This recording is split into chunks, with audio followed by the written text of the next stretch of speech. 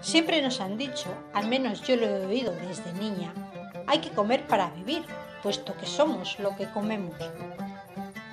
Así ha ido pasando de generación en generación, haciendo acopio hasta el hartazgo y la indigestión de los mismos griegos en sus escritos, que bien dejaron publicados, y en los que nos decían comer con moderación, mientras se atiborraban en sus largos y cocinados simposios o en cristiano, reunión de bebedores, bien acostados entre cojines y sedas, deleitándose con buena música, disfrutando de bellas y exóticas mujeres, y en la mano izquierda una buena maza de cordero asado, aliñado con zumos de uvas variadas. Muy sabios ellos, pero de grandes cenas están las tumbas llenas.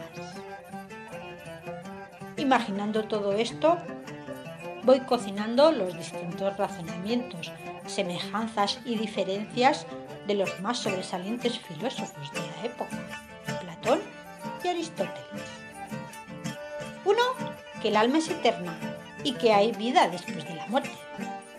El otro no, el alma muere con el cuerpo y todo se acaba.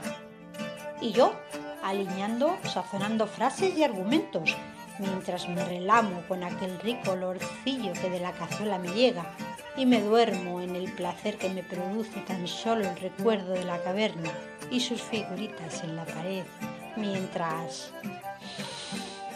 ¡Ostras! ¡Se quema mi guiso!